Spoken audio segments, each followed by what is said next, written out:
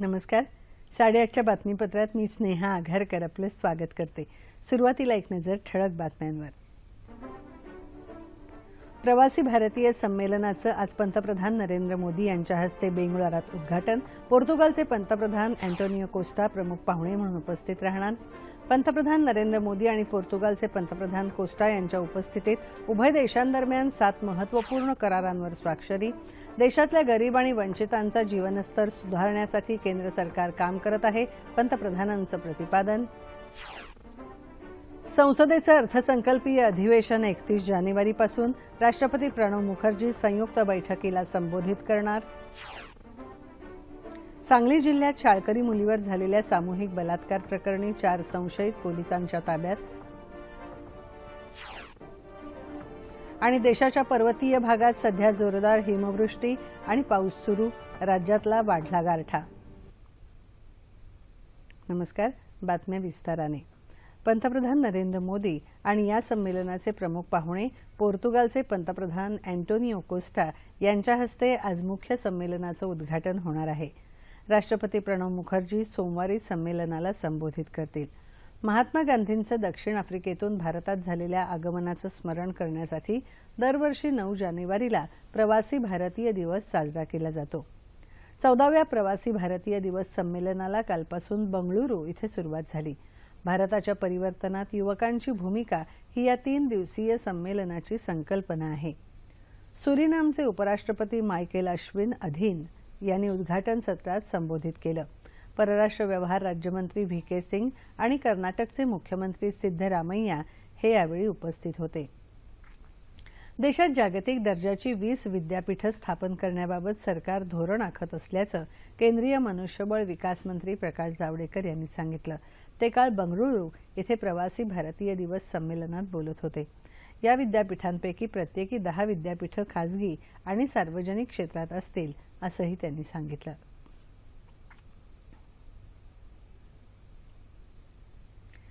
पंतप्रधान नरेंद्र मोदी यांनी काल पोर्तुगालचे पंतप्रधान अँटोनिओ कोस्टा यांच्याशी द्विपक्षीय मुद्द्यांवर चर्चा केली. यावेळी भारत आणि पोर्तुगाल दरम्यान सात महत्त्वाच्या करारांवर स्वाक्षऱ्या झाल्या.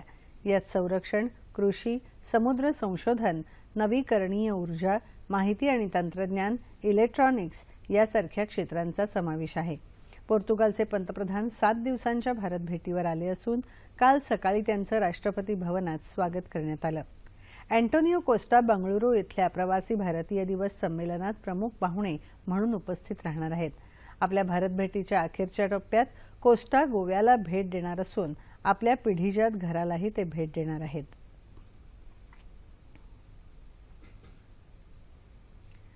देशातल्या गरीब आणि वंचितांचा जीवनस्तर सुधारणं आवश्यक असून त्यासाठी राजकीय लाभाचा विचार न करता केंद्र सरकार काम करत आहे असं प्रतिपादन पंतप्रधान नरेंद्र मोदी यांनी केलं. नवी दिल्लीत आयोजित करण्यात आलेल्या भाजपच्या राष्ट्रीय कार्यकारिणीच्या दोन दिवसीय बैठकीचा समारोप काल झाला. त्यापूर्वी या बैठकीत मार्गदर्शन करताना पंतप्रधान बोलत होते. गरिबी मिटवण्याचं सामर्थ्य हे गरिबांकडेच आहे. हे सामर्थ्य वाढवण्यासाठी सरकार गरिबांच्या पाठीशी आहे असं पंतप्रधानांनी सांगितल्याचं भाजपचे ज्येष्ठ नेते आणि केंद्रीय दूरसंचार मंत्री रविशंकर प्रसाद यांनी सांगितलं. विमुद्रीकरणाच्या निर्णयासह केंद्र सरकारने घेतलेल्या विविध निर्णयांमुळे देशात आता पारदर्शक वातावरण निर्माण होत आहे. असं सांगत ही पारदर्शकता राजकारणातही यायला हवी यासाठी सर्व पक्षांनी प्रयत्न केले पाहिजेत असं आवाहन पंतप्रधानांनी यावेळी केलं. चलनाचा अनियंत्रित पुरवठा ही भ्रष्टाचाराची जननी असल्याचं सांगतानाच विमुद्रीकरणानंतर झालेला त्रास जनतेने मनापासून स्वीकारला. त्यामुळे समाजशक्तीचं दर्शन घडलं असे गौरवोद्गार पंतप्रधानांनी या बैठकीत काढले. नरेंद्र मोदी यांच्यासह अनेक ज्येष्ठ नेत्यांनी यावेळी मार्गदर्शन केलं. विमुद्रीकरणाच्या निर्णयाचे चांगले पडसाद अर्थव्यवस्थेमध्ये उमटल्याचं या ठरावात म्हटल्याचं भाजपा प्रवक्त्या आणि केंद्रीय वाणिज्य मंत्री निर्मला सीतारमण यांनी नवी दिल्लीत झालेल्या पत्रकार परिषदेत बोलताना सांगितलं. विमुद्रीकरण आणि लक्षभेदी हल्ले हे केंद्रातल्या भाजप सरकारचे ऐतिहासिक निर्णय असल्याचं पक्षाध्यक्ष अमित शहा यांनी या बैठकीत बोलताना सांगितलं.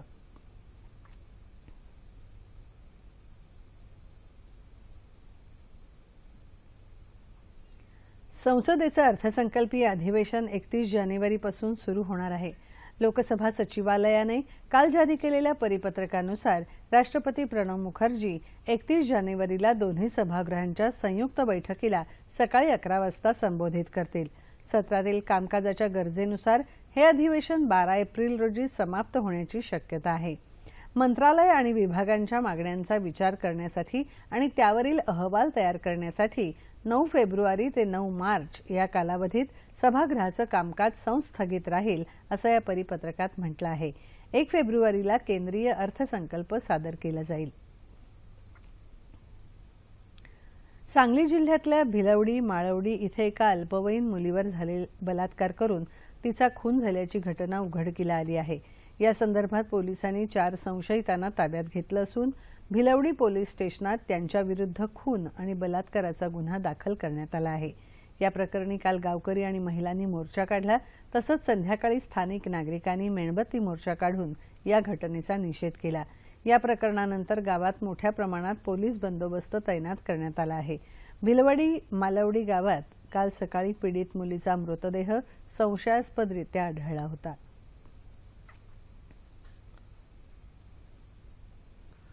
राज्यातील निवडणुकांच्या चौथ्या आणि अंतिम टप्प्यातल्या नागपूर आणि गोंदिया जिल्ह्यातल्या अकरा नगरपालिकांसाठी आज मतदान सुरू आहे.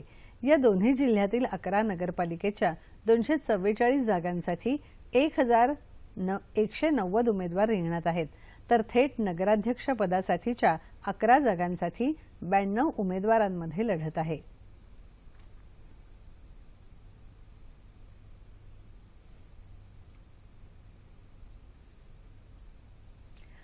डिझायनर कपडे विकणाऱ्या पहिल्या खादी इंडिया लाऊंजचं काल मुंबईत सूक्ष्म लघु आणि मध्यम उद्योग मंत्रालयाचे राज्यमंत्री हरिभाई चौधरी यांच्या हस्ते उद्घाटन करण्यात आलं.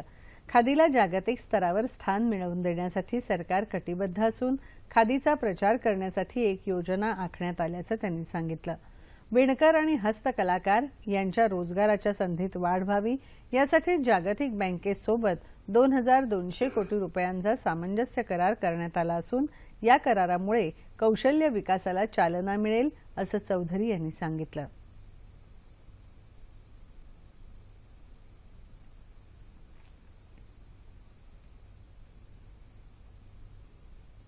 रोखरहित महाराष्ट्राच्या दिशेने यशस्वी वाटचाल करून डिजिटल अर्थप्रणालीला चालना देण्याच्या उद्देशाने काल पुण्यात डीजी धन मेळावा आयोजित करण्यात आला होता. केंद्रीय वस्त्रोद्योग मंत्री स्मृती इराणी यांच्या हस्ते त्याचं उद्घाटन झालं.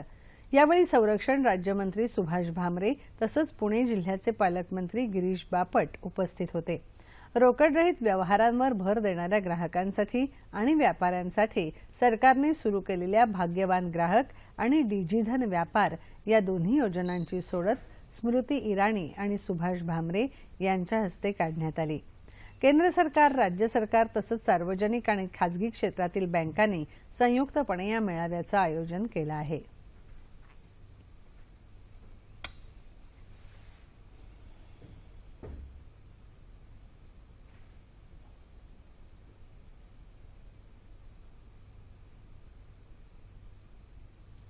राज्य शासनाने काल तीन नवीन माहिती आयुक्तांची नियुक्ती केली. निवृत्त आयपीएस अधिकारी के एल बिश्नोई निवृत्त सनदी अधिकारी संभाजी सारकुंडे आणि माजी आदिवासी आयुक्त दिलीप धारूरकर यांची माहिती आयुक्त म्हणून नियुक्ती करण्यात आली असल्याचं सामान्य प्रशासन विभागाच्या परिपत्रकात म्हटलं आहे. पाच वर्ष किंवा पासष्ट वय यापैकी जे आधी असेल तो त्यांचा कार्यकाळ राहणार आहे.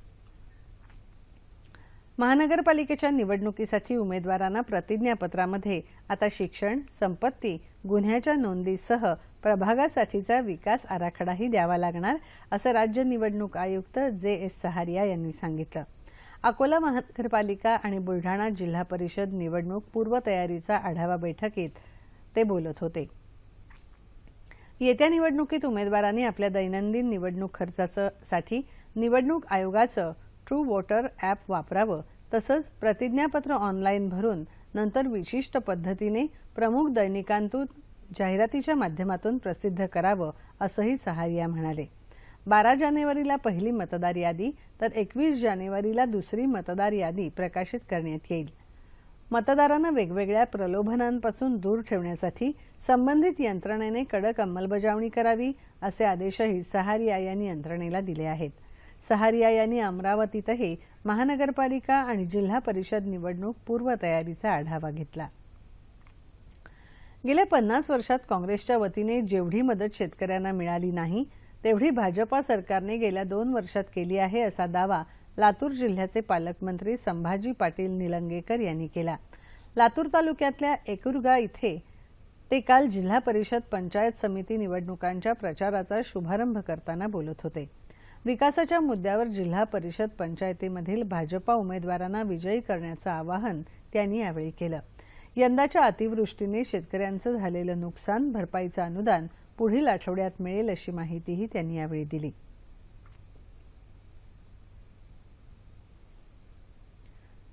शिवसेना प्रमुख बाळासाहेब ठाकरे यांच्या स्मारकाचं काल कल्याणमधल्या काळा तलाव इथे शिवसेनेचे कार्याध्यक्ष उद्धव ठाकरे यांच्या हस्ते उद्घाटन झालं.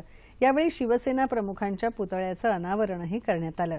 यावेळी राज्य मंत्रिमंडळातले मंत्री एकनाथ शिंदे रवींद्र चव्हाण कल्याण डोंबिवली महानगरपालिकेचे महापौर राजेंद्र देवळेकर यांच्यासह शिवसेनेचे अनेक आमदार आणि खासदार उपस्थित होते. हा पुतळा बावीस फूट उंच आहे. बाळासाहेब ठाकरे यांचं हे स्मारक केवळ स्मारक न राहता त्याला भेट देणाऱ्यांसाठी ते प्रेरणास्थान बनावं अशी अपेक्षा उद्धव ठाकरे यांनी यावेळी व्यक्त केली. पोर्तुगालच्या आधुनिक लोकशाहीचे जनक आणि माजी राष्ट्राध्यक्ष मारिओ सोरेस यांचं काल वयाच्या ब्याण्णवाव्या वर्षी निधन झालं. आपलं संपूर्ण आयुष्य पोर्तुगालच्या राजकारणात घालवणारे सोरेस यांनी एकोणीसशे शहाऐंशी ते एकोणीसशे शहाण्णव या काळात देशाचं राष्ट्रपतीपद भूषवलं. त्याआधी त्यांनी परराष्ट्र व्यवहार मंत्री आणि पंतप्रधान म्हणूनही कार्य केलं होतं. वृद्धापकाळामुळे काही दिवसांपूर्वी त्यांना रुग्णालयात दाखल करण्यात आलं होतं. टेनिस भारताची आघाडीची टेनिसपटू सानिया मिर्झाने या वर्षातलं पहिलं विजेतेपद प्राप्त केलं आहे. काल तिने अमेरिकेची बेथनी मटेक सँड्स हिच्यासोबत रशियाच्या एकातेरिना माकारोवा आणि एलिना वेस्किया या जोडीचा अंतिम सामन्यात सहा दोन सहा तीन असा पराभव केला. स्पर्धेतले विजेतेपद जिंकलं तरी गेले एक्क्याण्णव आठवडे. जागतिक क्रमवारीत प्रथम क्रमांकावरील तिचं स्थान संपुष्टात आलं आहे. तिची सहखेळाडू बेथने आता प्रथम क्रमांकावर आहे. हवामान देशातल्या पर्वतीय भागात सध्या जोरदार हिमवृष्टी आणि पाऊस सुरू आहे. सतत होणाऱ्या बर्फवृष्टीमुळे या भागातील तापमान तीन ते चार डिग्रीपर्यंत खाली आलं आहे. जम्मू श्रीनगर राष्ट्रीय महामार्गावर हिमवृष्टी आणि दरड कोसळल्यामुळे राज्याचा संपर्क तुटला आहे. तसंच दूरसंवाद आणि वाहतूकही विस्कळीत झाली आहे. हिमवृष्टी आणि खराब हवामानामुळे रस्ते साफ करण्यात अडथळे येत आहेत. काश्मीर आणि हिमाचल प्रदेशमध्ये बर्फवृष्टीमुळे अनेक प्रवासी अडकून पडले आहेत. धुक्यामुळे दिल्लीहून जाणाऱ्या आणि येणाऱ्या सत्तर रेल्वे विलंबाने धावत आहेत. येत्या दोन दिवसात काही क्षेत्रात जोरदार हिमवर्षाव होण्याचे संकेत हवामान विभागाकडून देण्यात आले आहेत.